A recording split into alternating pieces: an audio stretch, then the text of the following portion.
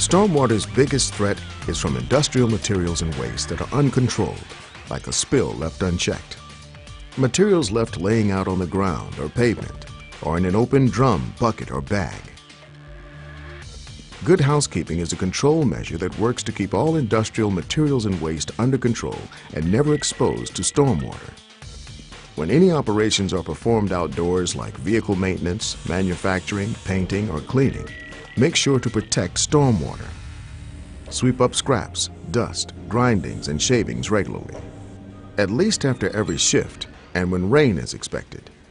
Good housekeeping is especially important for dust or particulates that can accumulate near outdoor work areas and around air pollution control equipment, like dust collectors and bag houses.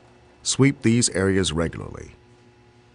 When performing work over bare dirt or any non-cleanable surface, take steps to catch the waste before they hit the ground. For painting, scraping, grinding, blasting, or cleaning that might leave residues, place a tarp or drop cloth directly under your work. When finished, fold up the drop cloth and shake it out into a dumpster or other suitable waste container.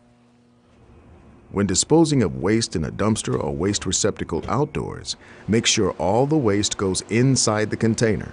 Only use lidded, lined, or watertight receptacles and make sure to close the lid when you're done.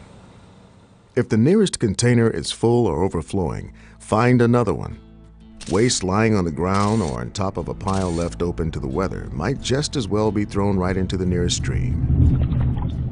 At the end of the day or of your shift, put all supplies and materials away, preferably indoors. Good housekeeping keeps your materials away from the runoff and out of the bucket.